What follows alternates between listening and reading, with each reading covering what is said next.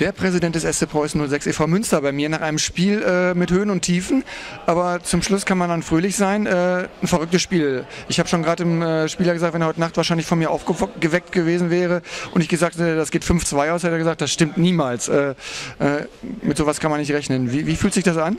Ja, großartig. Das war das ist wirklich ein denkwürdiger Abend für uns, für den Verein. Hansa Rostock ist ein riesen Traditionsverein. Vor einiger Zeit noch in der Bundesliga, jetzt bei uns im Stadion geht 2-0 in Führung. Und dann gewinnen wir mit diesem Fußball äh, 5 zu 2. Das ist, äh, wie gesagt, ist lange her, dass wir hier äh, so viel Freude haben durften. So richtig gezittert hat man nach dem 2-0 nicht wirklich, sage ich mal. Ne? Man hat irgendwie das Gefühl gehabt, die Jungs behalten die Linie und sind angespornt, nach dem Darmstadt-Spiel auch was zu zeigen. Und das haben sie auch wirklich gemacht. War ein schöner Fußball, oder? Ja, großartig. Wichtig war, denke ich, dass wir dass uns gelungen ist, direkt den Anschlusstreffer zu erzielen und die Mannschaft hat gesehen, da geht was. Äh, und die ist wirklich von der ersten Minute so aufgetreten, dass ich es allen zeigen wollte und haben es einfach großartig auch geschafft.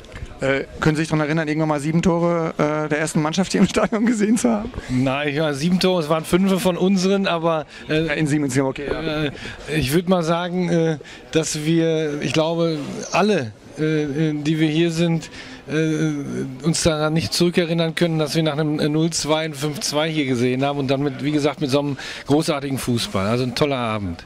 Den wünsche ich Ihnen jetzt auch noch, den können Sie bestimmt genießen. Vielen Dank Ihnen, alles Gute. Ich danke auch, tschüss.